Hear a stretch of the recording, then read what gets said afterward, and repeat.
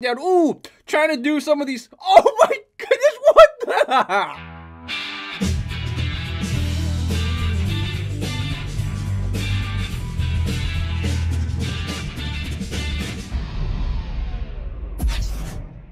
Fight commentary breakdowns. That's our Kung Fu master.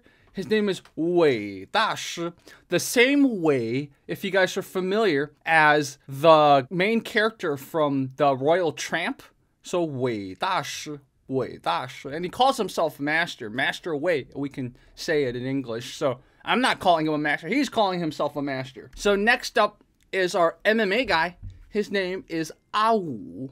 You remember the other MMA guy who kept beating up traditional guys? Ahu, for lack of a better word. Oz like Mr. Think like informal way of saying Mr. Mr. Tiger. This is Mr. Five. Wu, means five. So Mr. Five versus Master Wei. I'm trying to figure out how to title this. Should we call him Mr. Five? Or should we call him Awu? Here we go. Okay. Oh my god, look at the Kung Fu guy. The Kung Fu guy's actually posing. Look at that. He's doing the traditional. Oh, that was a very tall guard. Oh, hands all down. Oh, trying to do some of these. Oh my? Wow, wow, this is too much, guys. Look at that. Look at the MMA guy just laughing. Look at the MMA guy just laughing. Oh my god. Oh, oh, oh, oh my god. Oh my god. Oh my god. Oh my god. Okay, anyways. So, oh, MMA guy going in, kicking at the body. Kung Fu guy trying to do a spinning kick, also into a spinning back fist. None of it even landed. Ooh, Kung Fu guy spinning a kickback. Kung Fu guy still has his hands flailing. Very standard of certain Kung Fu taolu, as we say, or kata, or forms. Oh my goodness. Oh, see, Kung Fu guy's getting his hands are getting closer to his face now. You see, that's the thing. When you start pressure testing, you start understanding what works, right? Unless you're Lomachenko or someone with amazing speed, you are not gonna do well if your hands aren't close to your face. Look at that. Kung Fu Guy's no longer doing any of the funny stuff. He's no longer dancing. Look at that. Look at that. Oh! Oh, oh, he keeps getting his kick check, Kung Fu Guy. Kung Fu Guy has a weird valgus at his knees, too, as in his knees go inwards. I don't know why. It's probably um, an indication of either flexibility. Look at him turning his head. It's an indication of flexibility, or it's an indication of non athleticism, or both. Oof.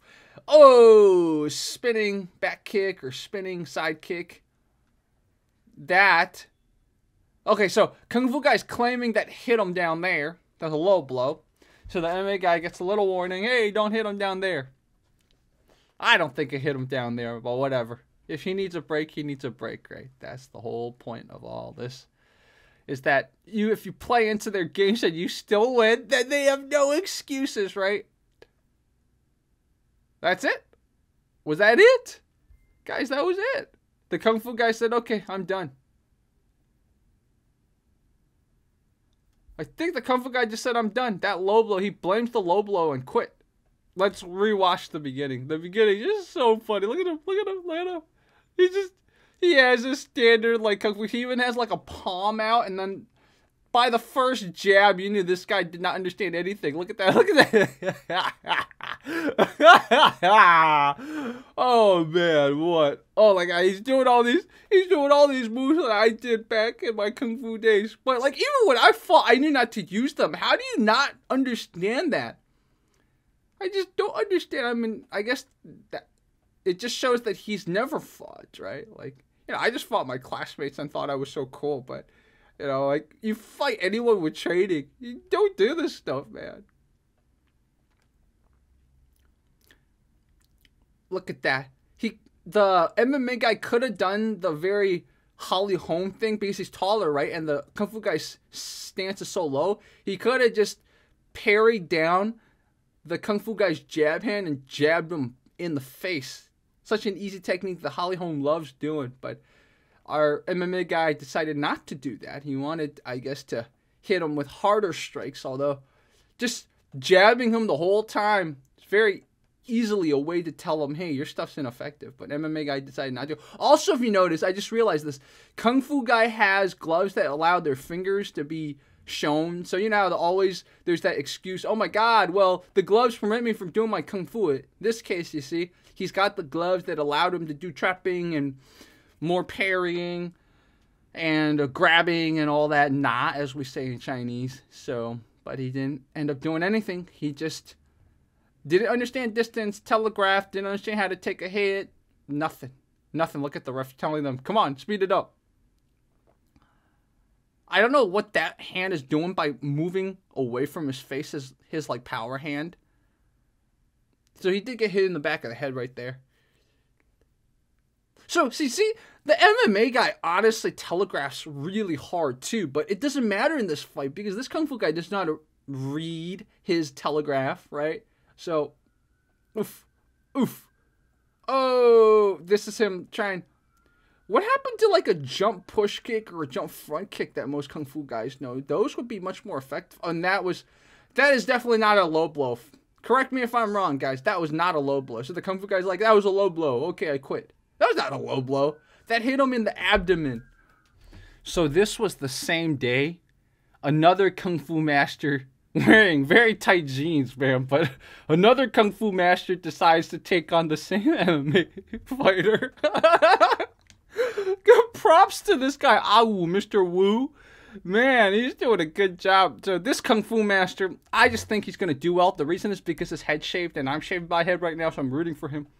Here we go. Oh, going in with a kick. All right, he's got more aggression than the other guy. Ooh, ooh. Oh, oh he's doing some chin punching. Oh, okay.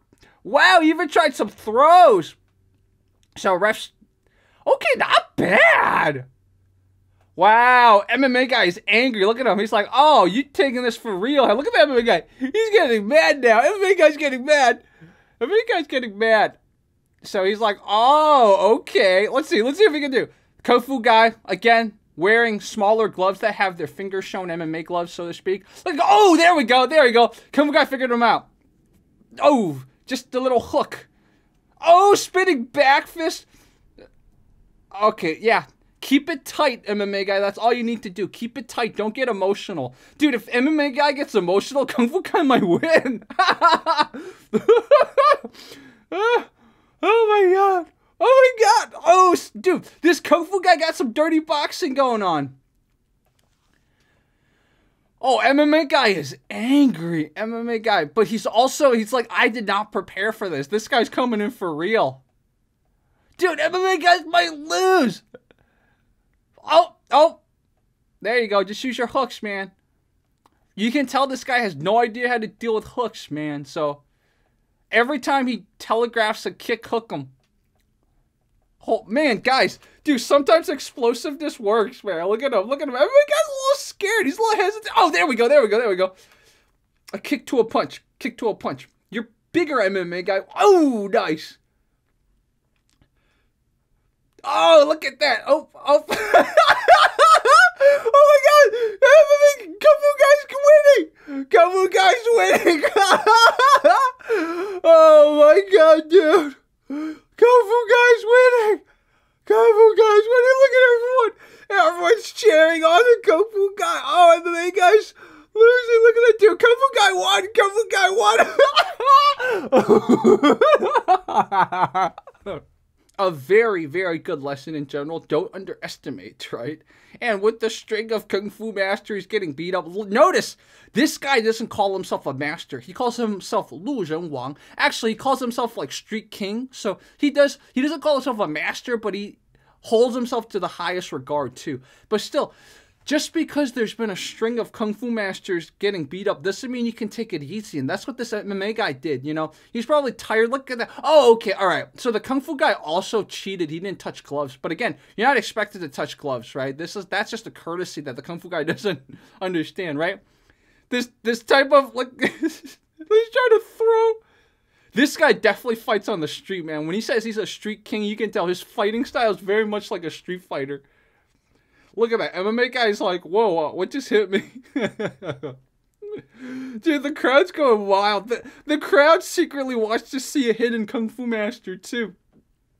man.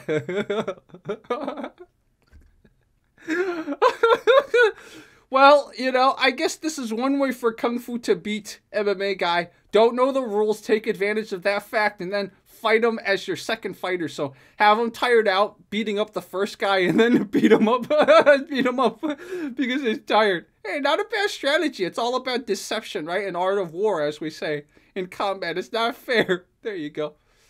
Obviously, with better technique and more control, but MMA guy kind of he lost his he lost his will to do damage. I don't know if it's because that first barrage dazed him. See, he's even blocking with his hands now.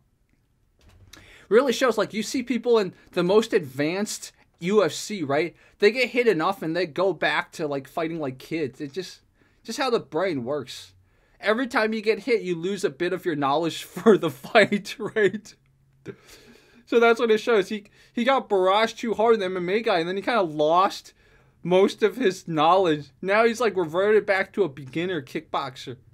Look at that. He even raised his hand, hesitated, hovered his leg there. So, oh my god, dude. This is awesome. This is going to be a great video that we're all going to have some fun with.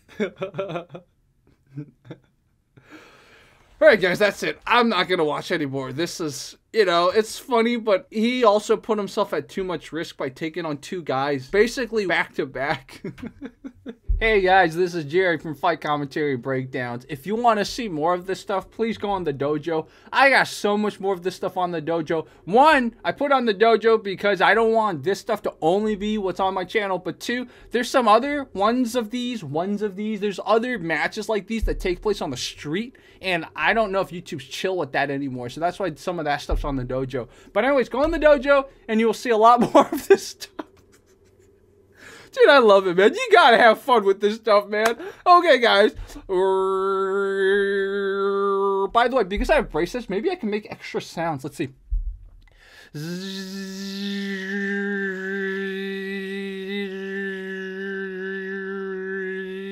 I don't know. All right, guys. Talk to you soon.